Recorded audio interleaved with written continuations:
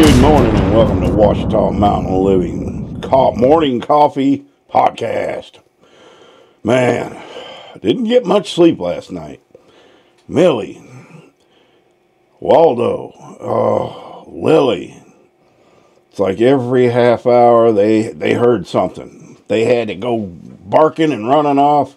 And when Millie starts barking, she just starts out full full blood curdling bark. Oh, and they don't listen. You know, they don't think they think they're they're doing their job. They're protecting you, but the coyotes always get them going. And I guess they were out last night, man. So I kind of slept in. It's like 7:30 now. I just got up about a half hour ago. But I got to go get this mop cut off. So I need to get get this thing rolling and and get on down the road and anything else I might need. Shouldn't need any groceries or anything like that, but do got to get gas in the truck. Yeah, and then maybe pick a project to finish to, to continue on. Um, you know, life's funny. Sometimes our brains trick us into thinking you're still 25 years old and there's plenty of time to get all these things finished, and you're still planning more projects when you should be finishing the ones you already started. Um, you know, and in your mind, you're thinking of yourself years down the road, you know, like the upper deck I built. I, I seen myself sitting up there in the mornings having coffee. Uh, not today because it's 35 degrees, but I've yet to do that. In fact, I put a table up there and I already took that back down uh, to use it for something else. But we, our, our minds trick us into thinking, yeah, you're going to live another 50 years or, or 40 years or whatever it might be. And by the end, before you know it, you're gone and you got all these unfinished projects. Not saying that's going on with me, it's not. But I am not starting anymore, you know, other than this carport thing. I wanted that. But I don't want to start anymore until I start finishing the ones I got. So I can have those years that I visioned, getting up and drinking the coffee and sitting there and watching the massive amounts of dump trucks go by every morning that we got going on now. Oh, yeah, they drive me nuts. They're I got on the uh, state transportation department's website because I want to know what's going on. Why, why for the past few weeks we've got all these trucks going down and they're widening some lanes down the road in between here and another town, and which I thought was finished, but I guess not. But anyway, that's good.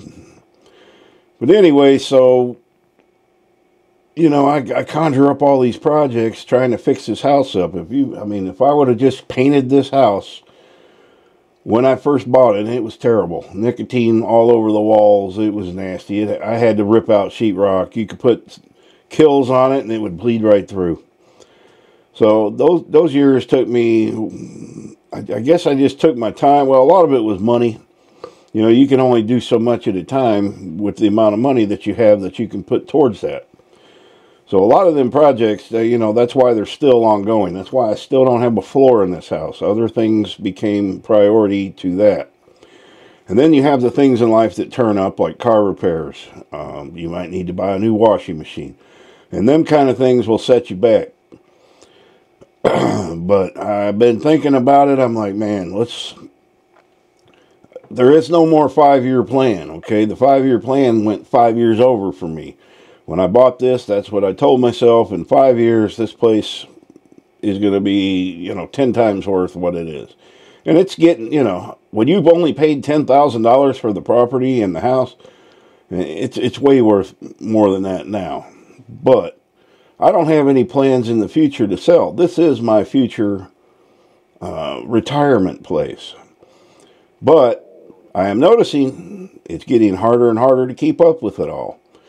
And you know, I'm only 58 years old, so that isn't old, that isn't old to a lot of people. But just 40, 50 years ago, the life expectancy of a man was not that high. And so every year you get after, I think it was, I, I seen some video, it said 48 years old. That's not very old. So do I even want those years where I'm sitting on the porch all day drinking coffee? Because that's not good for you either. So I guess I'll just keep doing what I do. Uh, when you have issues like arthritis, degenerative uh, joint disease, things like that, those are things there's no cure from. Uh, carpal tunnel in the hands, you're not coming, you're not going to be automatically cured from them things. If I drop some weight, it does make it easier. But when you have those issues, exercising becomes very difficult. It's painful.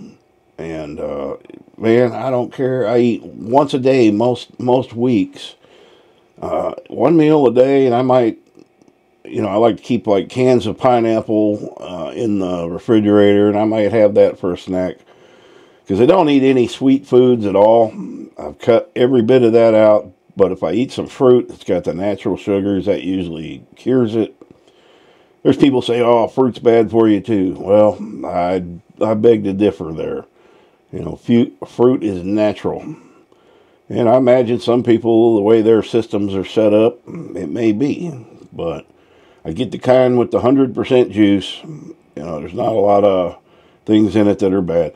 So they say on the label. You know, who's to say that none of that stuff's true? So, and the projects I have are, aren't really big ones like this office, it's 95% finished. All I got to do, there's a doorway. I've got to put trim up. Uh, that's about it. And then the office is done.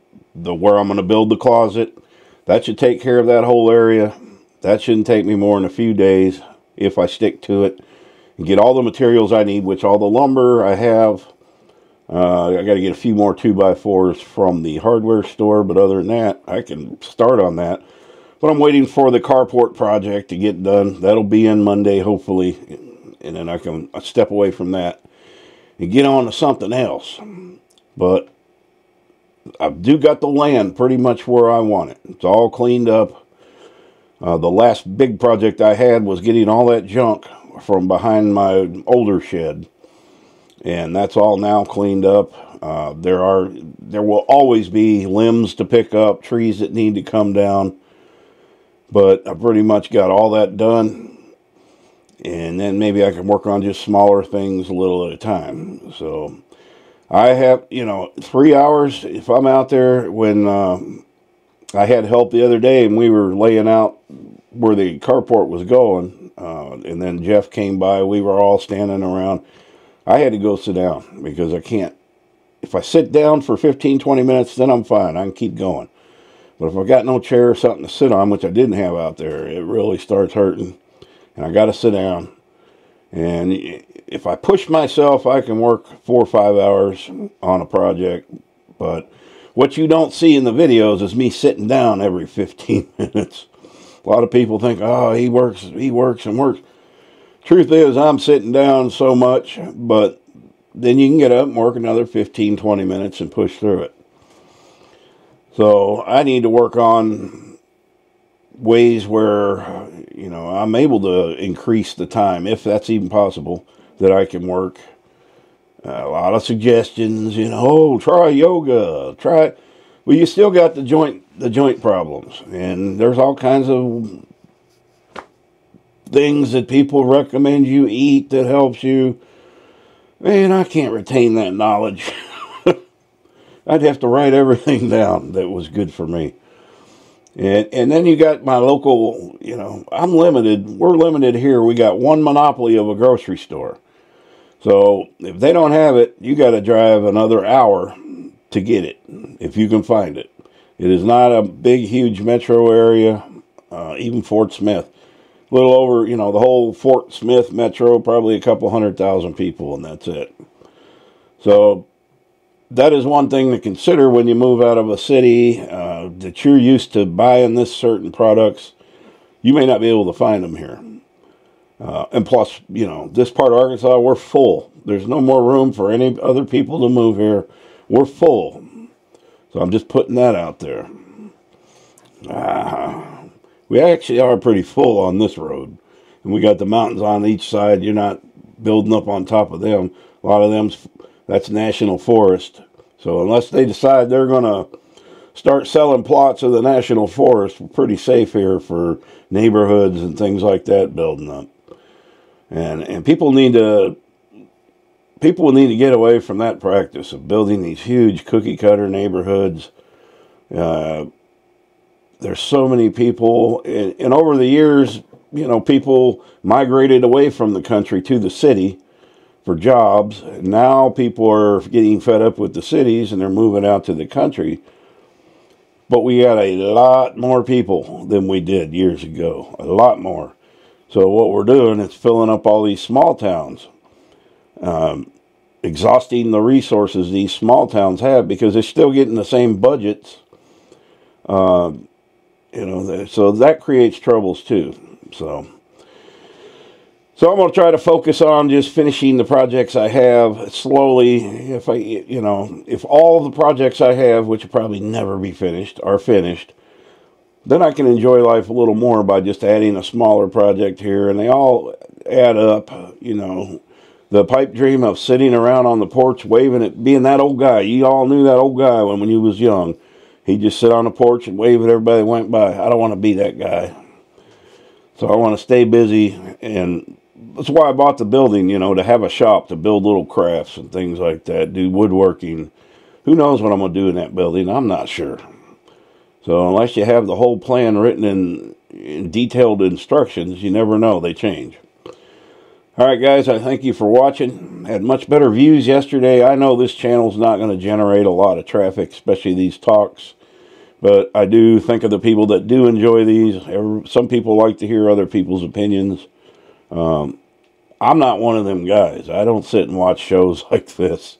Um, unless it's something I'm real interested in. You know, I'm just a lot of channels like my channel have these side channels where they come on and talk. Uh, I don't even watch homesteading channels, guys. I'm not. I don't consider myself a homesteader. I'm just an old guy that bought a house that has been fixing it up for ten years. I'm not the guy that said I'm going to move to the country, build my own house go off grid. I'm not that guy, so them them kind of channels don't they don't interest me. Now I do watch the local, you know, the people I know. I'll watch their I'll watch their channels. Uh, I don't guarantee I watch every one of their videos, but I try to watch them. But I'm not interested in in homesteading. Now, I am into prepping things like that. But I watch channels that I'm interested in, and a lot of them are history type related things, uh, like the Why Files. That's a good one. Uh, yeah, I watch stuff that's funny. We sent, you know, I, I, don't care about people moving out, out of the city and buying a place, and, and that's a good thing that they're doing it. It just don't interest me. So it's it right now that that concept scares me because I don't. I think of all the work they got ahead of them, and there's people doing it that are my age. You know, I feel for them because things are a lot more expensive now, and it's tough. But a lot of them have family, so if you got a wife and or a husband, and you got kids, that makes it a lot easier. Uh, I didn't have anybody when for until I got on YouTube. Oh, I'm gonna sneeze. I, I never had any help here, and I only still I only ask for help if I really need it. Oh, I have to edit that out. Oh, there's another one coming. So I try to live as self-reliant as I can. But if there's a time restraint like getting the carport ready and leveled, now that job ended up being a lot easier than originally planned where I was going to put it. So I probably really didn't need their help, but I kind of did because we had to do a lot of shoveling and uh, you know that's not easy on a guy who's doing all that shoveling by himself with the gravel. I did about six truckloads of that putting in the garden last year, and that whooped my butt and the French drain. All right, guys, we're going to end it here. It's getting too long. Thank you for watching. Happy trails.